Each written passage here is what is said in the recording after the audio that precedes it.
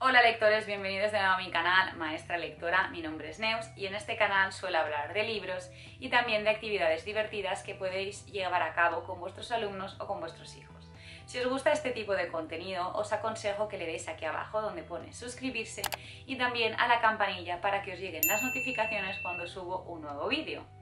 En el vídeo de hoy os voy a hablar de las lecturas del mes de enero, se trata de un wrap-up y por cierto, un wrap-up que va a ser bastante largo porque el mes de enero ha sido el mes que creo que más libros he leído hasta la fecha, así que te aconsejo que te sientes y que te tomes algo. Solo puedo decir que espero que te guste y quédate a verlo. El primer libro que leí en el mes de enero es La reina del aire y la oscuridad de Cassandra Clare, que está enfocado para un público joven y que tiene una temática de novela de fantasía. Después de los acontecimientos, los trágicos acontecimientos ocurridos en el salón del cónclave, parte de la familia Blackhorn tiene que volver al Instituto de Los Ángeles con las sospechas de la inminente guerra que se acerca, mientras que Julian y Emma eh, se verán eh, abocados a, a, realizar una misión bastante peligrosa para recuperar el libro de la vida. Este es un libro en el que ocurren muchísimas cosas, eh, tanto a los personajes principales, Julian y a Emma, como al resto de los personajes secundarios. La verdad es que si por algo se caracteriza a Cassandra Clare es por crear eh, un gran, todo un mundo con con sus historias y darle a cada personaje su trama propia eh, que resulte interesante y cautivadora para el lector. Sin embargo, también os digo que aunque cierra muchas historias, también deja la puerta abierta a muchas otras, tal vez eh, mm, con la perspectiva de una nueva trilogía próximamente, no lo sé. Pero bueno, os digo que es un libro que tenía pendiente desde hacía muchísimo tiempo, yo creo que incluso haría aproximadamente un año, lo tenía pendiente. Y me ha gustado el libro, aunque debo señalar que como se hace, eh, como es tan largo, eh, había ocasiones en que me resultaba pesado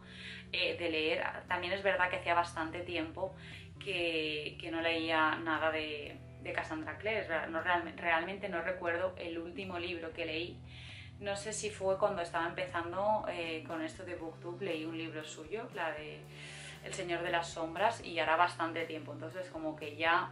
lo tenía un poquito olvidado y tuve que incluso mm, pensar a ver qué es lo que había ocurrido al final del segundo libro de la trilogía. Pero bueno, os digo que en general me gustó, pero sí que es verdad que se me hizo en algunas partes un poco pesado, pero estuvo bien y si os gusta Cassandra Clare os recomiendo mucho leerlo.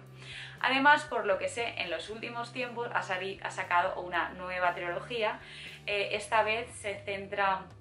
es la trilogía de las últimas horas y se sitúa después, 20 eh, años después de la trilogía Los Orígenes, que también leí, leí y me gustó mucho. Así que no sé, supongo en un futuro también tengo pendiente leer esta nueva trilogía. El segundo libro que leí en el mes de enero es El Vizconde del que me enamoré de Julia Quinn, que está enfocado para un público adulto y que tiene una temática de novela romántica. Este libro es el segundo de la famosa saga de los Bridgerton, justo después de El Duque y yo, que es el libro en el cual se basa la primera temporada de la serie de Netflix. Este libro tiene como protagonista a Anthony Bridgerton, el hermano mayor, que por fin ha decidido sentar la cabeza y buscar una esposa. Tiene como objetivo la joya de la temporada, como es Edwina, sin embargo, para poder conseguir su corazón o poder conseguirla como esposa, tendrá que eh, tener la aprobación de la hermana mayor de esta, que se llama Kate. La relación entre Anthony y Kate no es precisamente buena, sino que es más bien tirante y incómoda. Sin embargo, al final del día, el vizconde Bridgerton no es Edwina quien tiene en la cabeza, sino más bien a Kate. Es un libro que me gustó mucho, es muy entretenido y muy fácil de leer. Y la verdad es que te da la oportunidad de conocer un poco más a Anthony, porque es un hombre que el pobre vive atormentado por, por la muerte de su padre y también con el peso de la responsabilidad de ser el cabeza de familia. Y os comento que en, con, en relación con la serie, eh, la única sí trama que han avanzado en la serie con respecto al libro es que Anthony tiene como amante a la soprano. Eso sí que más o menos aparece en el libro. Pero luego tampoco han avanzado mucho más sobre su personaje. Más tarde tenemos Te doy mi corazón de Julia Quinn, que está enfocado a un público adulto y que tiene una temática de novela romántica. Este libro también forma parte de la saga Bridgerton, es el libro número 3 y tiene como protagonista el segundo hermano como es Benedict Bridgerton. Este libro os comento también algo interesante. Se trata de un retelling sobre eh, el cuento de la Cenicienta. Y tenemos como personaje femenino a Sophie, una joven que ha sido esclavizada por parte de la mujer de su padre y sus hijas después de la muerte de su progenitor. Sin embargo, una noche, como Cenicienta, eh, consigue asistir a un baile de máscaras en la mansión Bridgerton y allí será donde conocerá a su príncipe, a Benedict Bridgerton, pero evidentemente nunca en ningún momento le revelará su identidad, ya que se trata de una hija ilegítima. Y a las 12, como el cuento, ella debe marcharse de la fiesta y dejará una prenda atrás. Por casualidades del destino, los dos se vuelven a encontrar y ella entrará a trabajar en la casa de Lady Bridgerton, la madre de Benedict. Él no la reconoce como la joven de la fiesta y ella, avergonzada por su situación de criada y también por la situación de ilegítima, no le dice quién es. ¿Conseguirá volver a surgir la chispa entre ellos dos? Eh, Sophie le revelará su secreto este es un libro que también me gustó mucho y también me hizo mucha gracia que fuera un retelling del cuento de la Cenicienta. Por cierto, un retelling muy bien adaptado, tiene bastante sentido y me gustó. Fue muy divertido y muy entretenido leerlo, así que también os recomiendo su lectura.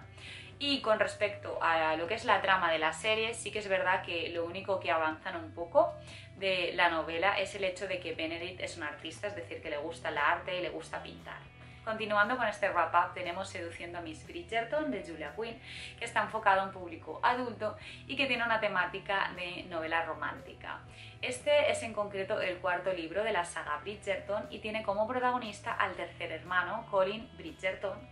Eh, y como personaje femenino encontraremos a Penélope, que ya conoceréis por la serie.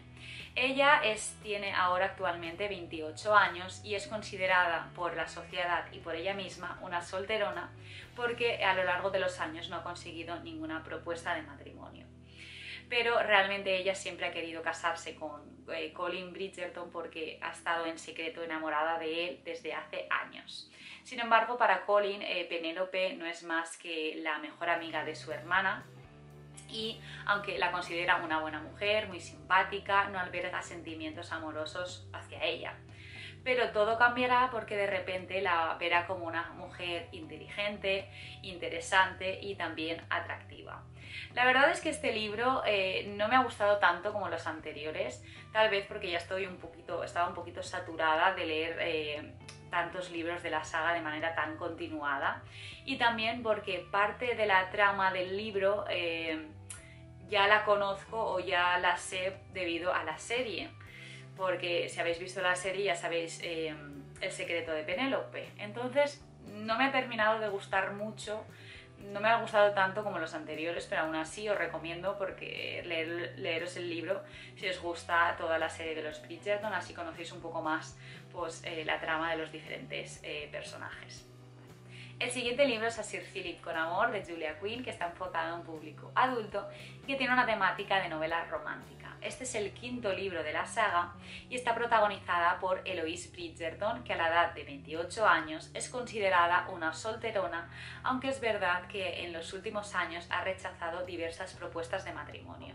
Ella en principio no tiene mm, ganas de casarse porque no ha encontrado nadie que le encienda la chispa y le plantee el matrimonio. Sin embargo, es verdad que en los últimos tiempos, debido a la boda de una amiga suya, se ha replanteado esa idea del matrimonio. Además, da la casualidad de que Eloise mantiene una amistosa correspondencia eh, con Sir Philip desde hace meses y un día él le propone en una carta matrimonio. Eloise tiene la clara intención de casarse y de no estar sola y sabe muy bien que en Londres no va a encontrar a nadie que le llame la atención o nadie con el que quiera casarse, así que decide aceptar la proposición de Sir Philip para pasar unos días en el campo y así poder conocerse. Al principio a Lois le cuesta un poco encajar la idea mental que se había creado de Sir Philip con la realidad que encuentra al llegar allí. Además, por si todo no fuera suficientemente complicado y extraño, resulta que él le ha ocultado parte de la verdad porque es padre de dos hijos, un niño y una niña de 8 años que son muy, traviesos y que no le ponen las cosas fáciles a Lois. Sin embargo, ella no se rinde porque quiere saber si realmente los dos pueden encajar y crear un futuro juntos. Este es un libro que me ha gustado bastante, ha sido muy entretenido y muy fácil de leer, realmente me ha gustado, ha sido como una recuperación después del libro anterior que no me terminó de enganchar mucho y también os digo que me ha recordado muchísimo a una película que hace tiempo que vi en, un domingo por la tarde y que seguramente a lo mejor alguno de vosotros conocerá. No recuerdo el nombre, voy a ver si lo encuentro consigo saber cuál es el nombre, hoy os pongo la portadita por aquí, pero es la típica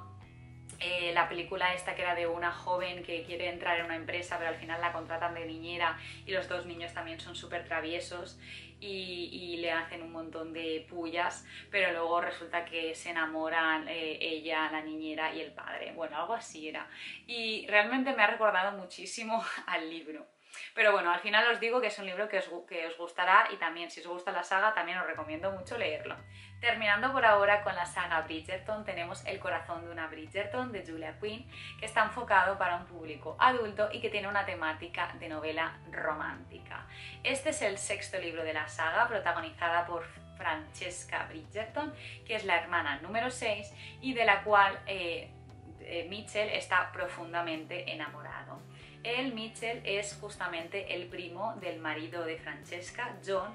al cual quiere como un hermano porque los dos se han criado juntos, por lo tanto Mitchell reprime eh, sus sentimientos y no le dice nada a nadie. Desgraciadamente, a los pocos años de matrimonio, John muere sin descendencia y tanto el título como la riqueza pasan a su primo Michel.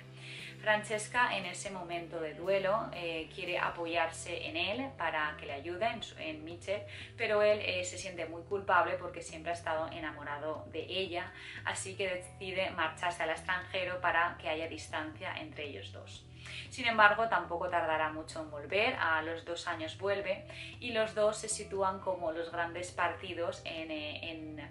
la temporada porque ella ha decidido casarse de nuevo porque su ilusión es tener un hijo y él tiene que casarse porque necesita eh, tener un heredero para el título. La verdad es que este libro mm, no me ha terminado de gustar tanto, no sé, a lo mejor también es que estaba ya un poquito saturada de leerme eh, cinco libros seguidos de la saga, entonces mm, no me ha terminado de gustar mucho. Eh, me gustó el hecho de que estuviese ambientado en Escocia, pero no me terminó mucho, yo creo que estaba ya muy saturada, así que decidí parar y hacer un poquito de descanso. Solo creo que me quedan ya tres libros para leer y ahora estoy empezando con alguno otro, pero me saturó un poco y no me terminó mucho de gustar. Lo veía un poco lento y no, no sé, no me llegó a gustar tanto. También os recomiendo el libro, pero en, en general creo que hay otros libros de la saga que están más divertidos y más entretenidos. El último libro de este wrap-up es Los hombres que no amaban a las mujeres de Steve Larson, que está enfocado para un público adulto y que tiene una temática de novela negra. Michael Bloombis es el editor de la revista Millennium y actualmente se encuentra en una situación complicada porque acaba de perder una demanda por difamación contra un poderoso empresario. Su deseo de alejarse de los medios, del foco mediático, le hace aceptar la propuesta de trabajo de Henrik Wagner para escribir su biografía, o al menos eso es lo que le dicen a todo el mundo ya que lo que realmente eh, Henry Wagner le pide a Michael Bloombis es que investigue la desaparición de su sobrina, de Harriet Wagner, que desapareció hace más de 30 años en la isla propiedad de su familia. Michael no le da falsas esperanzas al viejo Wagner, pero sí que le promete que mientras esté escribiendo su biografía también eh, revisará el caso de Harriet. A lo largo de los meses de trabajo, eh, Miguel irá descubriendo la mala relación que hay entre toda la familia, es una familia bastante disfuncional, y también descubrirá un poco eh, lo que pasó en las últimas semanas, días, incluso horas en la vida de Harriet antes de desaparecer, ya que al parecer la joven estaba investigando un posible asesino en serie de mujeres. Como necesita apoyo en esa investigación para descubrir un poco más qué es lo que pasó con, ese asesino de mujeres, si realmente existe,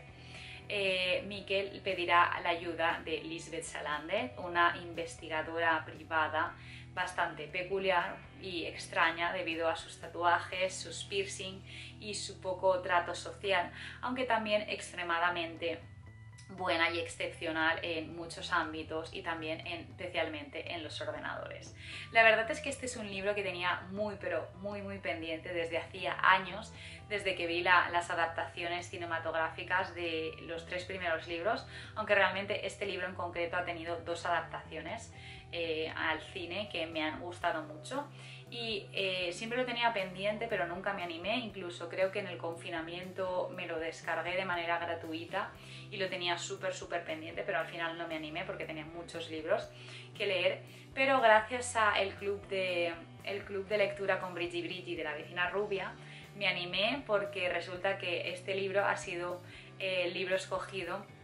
para el club de lectura en el mes de enero Así que eh, me ha encantado, lo disfruté muchísimo, os lo recomiendo mucho. Incluso como me ha gustado tanto, he decidido hacer también un, bueno, no un club de lectura, pero voy a ir compartiendo en mi Instagram, que por cierto, si no me seguís os lo dejo por aquí, porque me he propuesto leer un libro eh, de este, esta saga de libros de Steve Larson al mes. El, primer el mes de enero eh, leí